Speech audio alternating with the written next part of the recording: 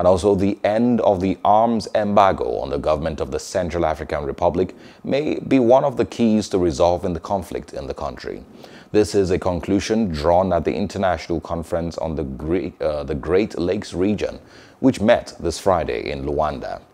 Angolan President Joao Lourenco presided over the summit, which reiterated the regional support by neighboring countries for President Faustin-Archange Touadera, uh, who was re-elected on uh, December 27th, a vote contested by armed rebel groups. Nilsa Silva, the heads of state at the conference, called on all parties involved to resolve their differences peacefully and to express their opposition without violence.